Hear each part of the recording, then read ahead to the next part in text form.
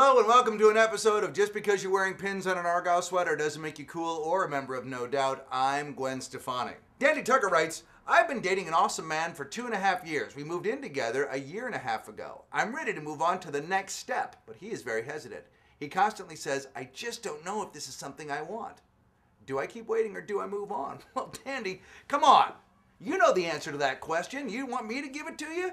You want me to tell you to move on? Buddy, you know what you're supposed to do. You're supposed to be in relationships with people that want to do the same things you do. That's what makes them fun. That if he doesn't, doesn't make him a bad guy. It just means he isn't ready. He's telling you he's not ready.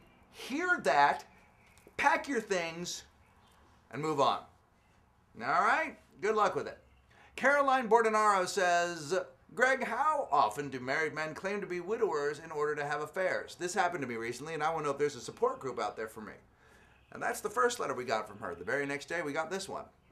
Greg, I just found out my ex-boyfriend is married. Should I tell his wife that he's cheating on her?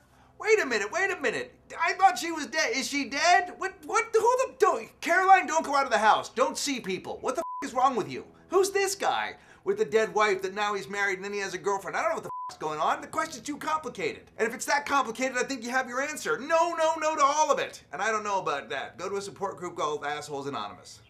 Ariel Brown queries, Greg, I'd like to meet you. Can you make my wish come true? Ariel, I wish your wish was bigger. meet me, hell, you can come on over.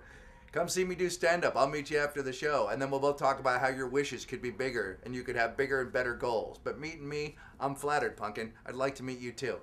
And many of you have written in and said, Greg, the glare on your glasses during the episodes of Ask Greg bothers me. Well, imagine how I feel having to stare straight into the face of the sun.